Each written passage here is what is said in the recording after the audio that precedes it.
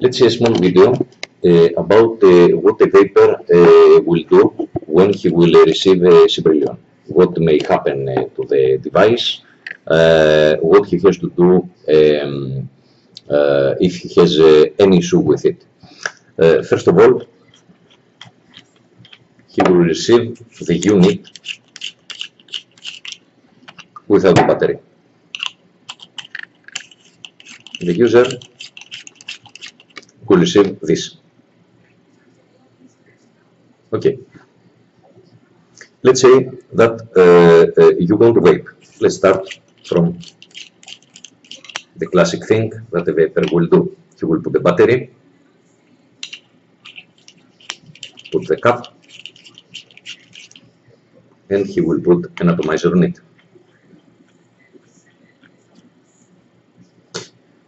You have to see if the unit is locked or unlocked. Let me uh, focus. You see this small opening between uh, the button and uh, uh, the external body.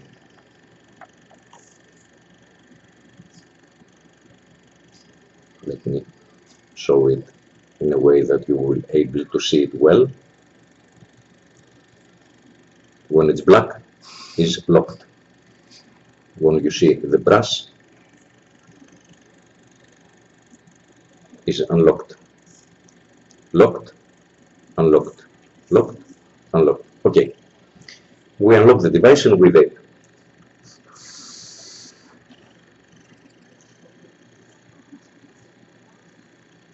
Now, uh, suppose that uh, the atomizer is input and uh, it is uh, sorting.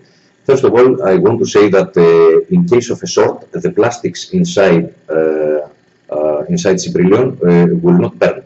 So uh, don't be afraid. There is no reason uh, to order new plastics in case of this. Okay, this is happening to other devices, including uh, GGS Tergon, but these plastics are very big in fat and um, uh, they don't get burned at all. Uh, you will see that uh, they will not be damaged after the after a short circuit that I will produce soon on this video. You wait. Okay. Uh, now let's say that um, you want uh, to uh, take off. Let's say that you want to clean the button and the contact, the one contact that Cybrillion has. Okay.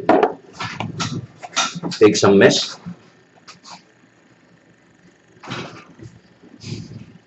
Okay.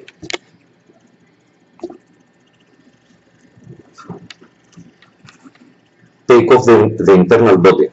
The internal body, if you remember on a previous video, let me focus a little more you see that uh, the locking cap has two cuts. One cut is here, two slots, and one slot is here. You bring any of the slots, you see that without the internal, excuse me, sorry, okay.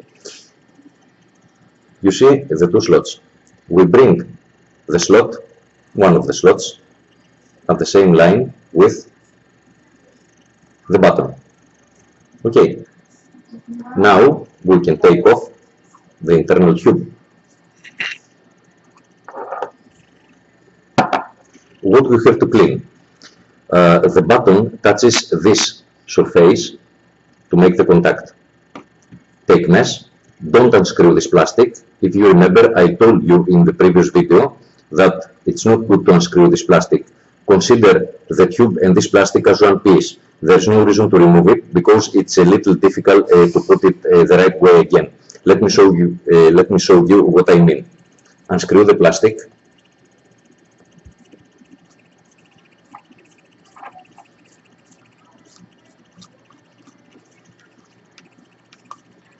This plastic, when it's not on the tube, it's not uh, very steady. You can't screw it easily. Of course, when it is screwed on the tube, it's uh, more than steady. Uh, if you start screwing, because of this opening, you will not be able always to put it the right way, maybe you will put it like this. You see how easy it goes inside the tube by a small pressure. You can put it like this and you may cross-thread it. It's not straight. You have to be careful with this. You have to screw it a little and check around the threads if the same amount of threads are uh, visible and also if this opening uh, has the same dimensions in all of its length. Now you start screwing. You see that I started screwing and uh, um, I could cross-thread it very easy. I start screwing again by putting a little pressure to my fingers, not a lot, a little pressure to keep it steady while I, I screw it. Uh, during screwing, I always check the threads here, if they have uh, the same uh, length, and I also check always the opening, if it has the same uh, width in all of its length. As you see, I keep the plastic and I screw the brass body.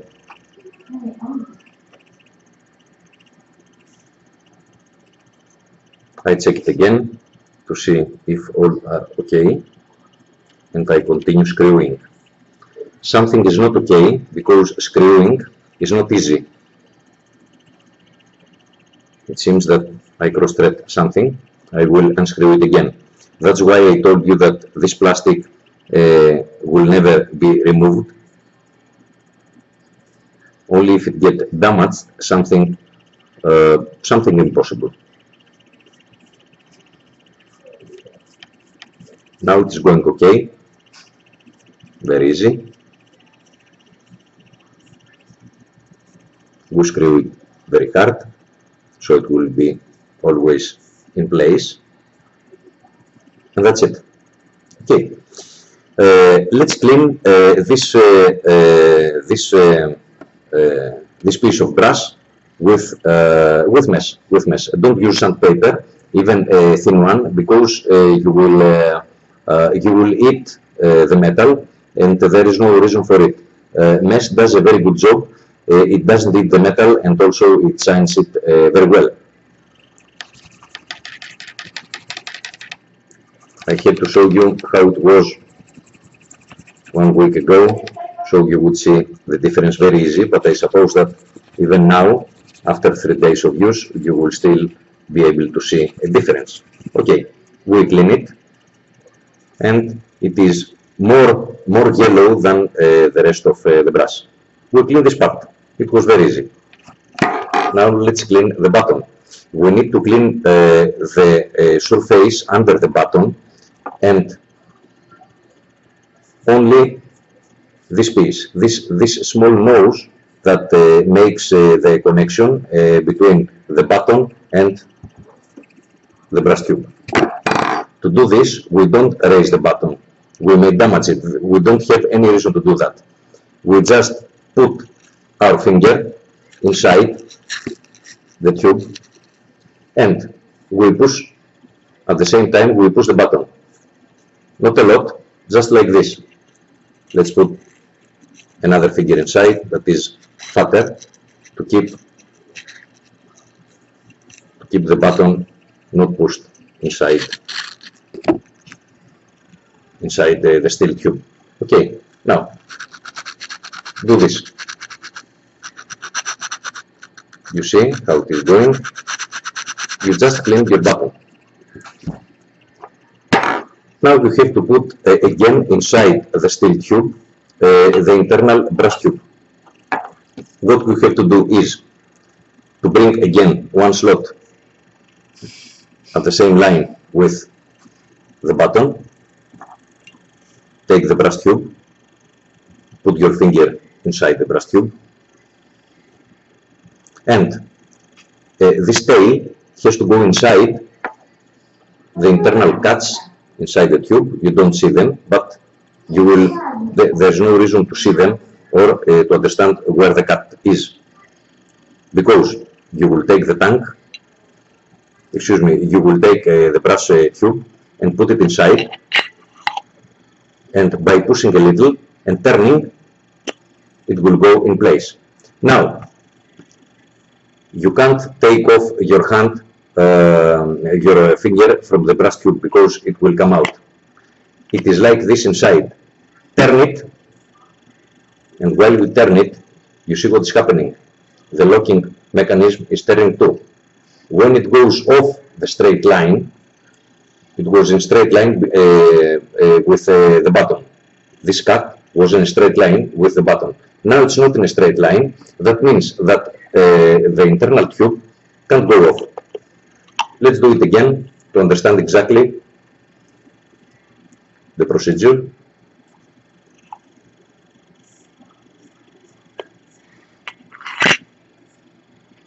You see the tube, the internal tube, put it inside, push a little, you will hear the click and you will see your finger goes uh, deeper uh, to the uh, tube, to the external tube, and down. Turn to lock or unlock the device, we don't care. We only want to take off uh, our finger uh, from the tube.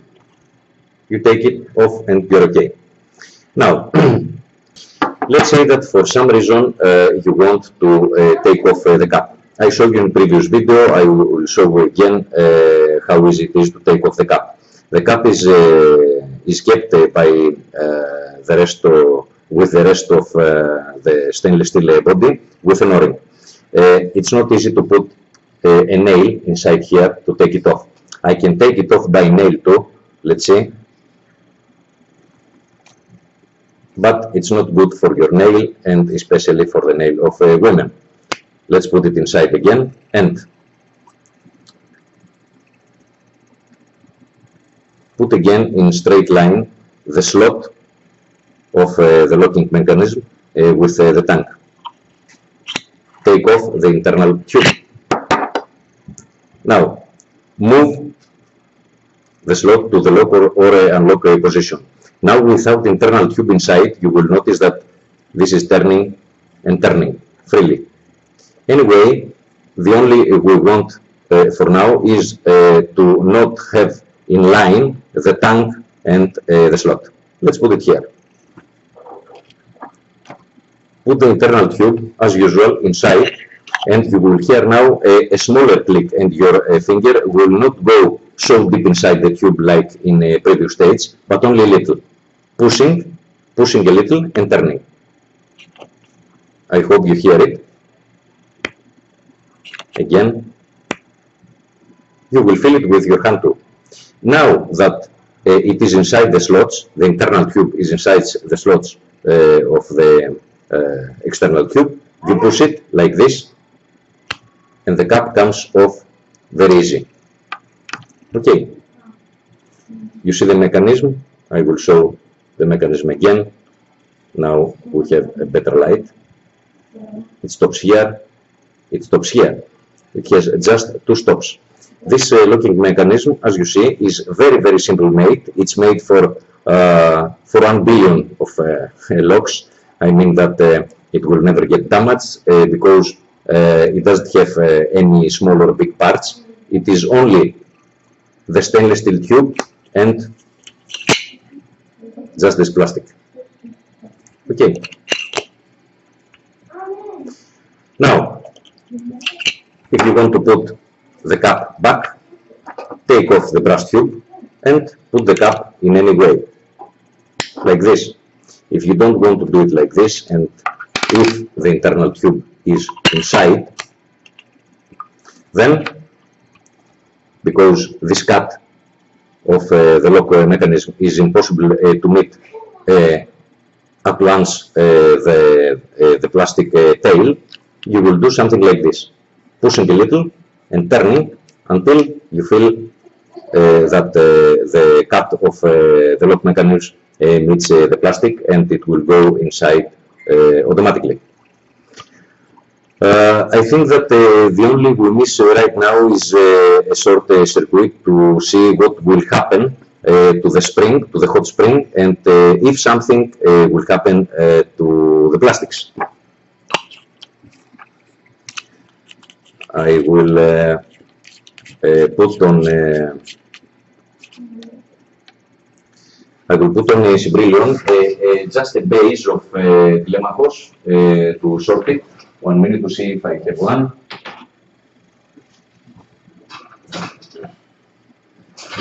Let's put the base of a Telemachos to sort the device.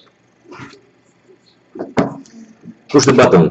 If you push the button, the button is uh, fat and uh, long. Uh, the button uh, will be uh, just a little warm. It will not uh, burn your hands as uh, on uh, some other devices that uh, the button gets really hot and you can't keep it with fingers or push it. It will be a little warm, so you will understand that there is a short. Also, because the spring will be will shrink you will understand that you have a short by uh, moving the device and you will hear uh, the, battle, uh, the battery uh, rattling inside. Let's push the button to see what will happen. See inside. You hear the battery. It is rattling right now because the spring is, uh, is shrink. Uh, the device is cool. Nothing happened to the device. Let's see the spring and let's see the plastics. What happened with them because we sorted the device. Battery is a little hot, of course. And it is a little hot because we didn't let the battery to be very hot uh, because the hot spring uh, worked uh, very quickly.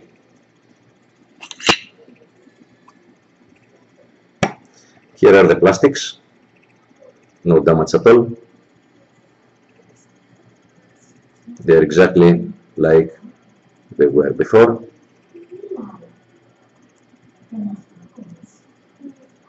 Let's see what happened to the spring. The spring is silver plate, uh, silver silver plated, uh, not to add anything to the device because, as I have told you enough times, plating doesn't offer anything on uh, conductivity. And you see what happened to the spring. Uh, it lost its uh, silver plating here. It became like it became as the original wire of the spring and it lost conductivity uh, so battery was uh, rattling and uh, no current went through the excuse me through the atomizer. Let's put another spring or maybe we will not put another spring. We will extend the spring to make again a connection. This is very easy because the spring didn't uh, really damage. Uh, you didn't damage it. You only uh, uh, because uh, a lot of current went through it, it string, but it didn't get damaged like some other springs that when a current goes inside them, they string too much and when you try to extend them, they are very soft. It keeps its stiffness so we can use it again. Put it again inside.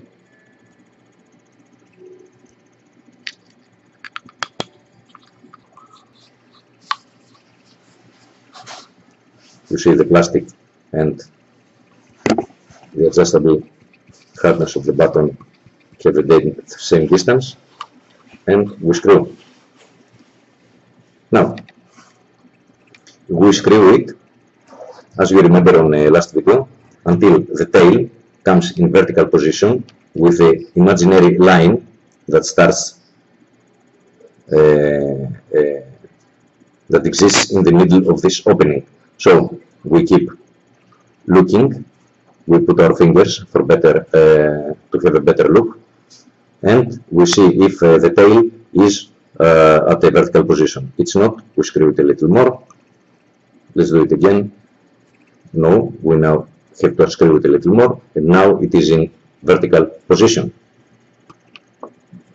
You see, the tail is in vertical position with this imaginary line at the middle of the opening of the other plastic.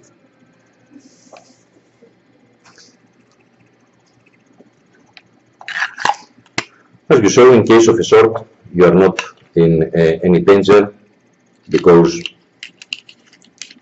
uh, the hot spring does a perfect job. Let's vape again. Here you don't hear the battery rattling right now, so the connection is established because we, we extend the spring that was uh, stringed and we can uh, vape again.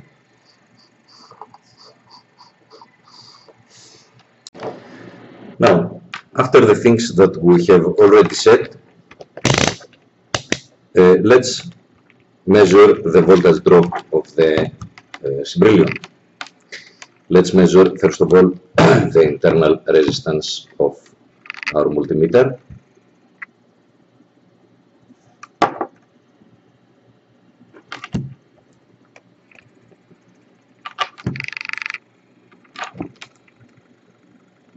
Zero point three, and let's measure the resistance of our atomizer.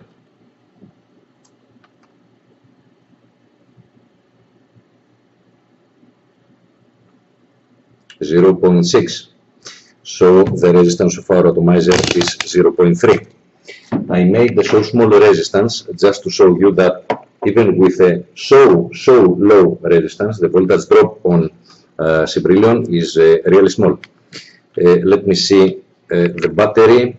We are now at 3.72. Let's take another battery that has more voltage.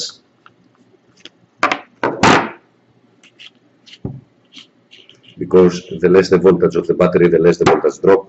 I don't want you, I don't want to show you fake results.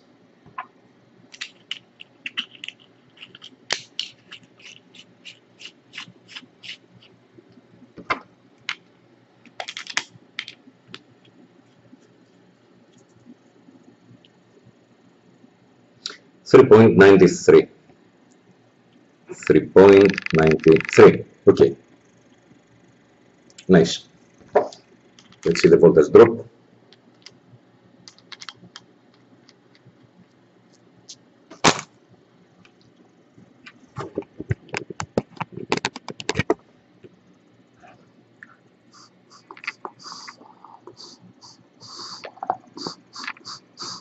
Three point fifty four 390. Uh, it is uh, uh, 35 um, 0.35 voltage. volts. this is a very small drop voltage on a, a 0.3 resistance. So with a 0.3 resistance, we have a 0.35 volts uh, drop uh, voltage. Excuse me. Do it again.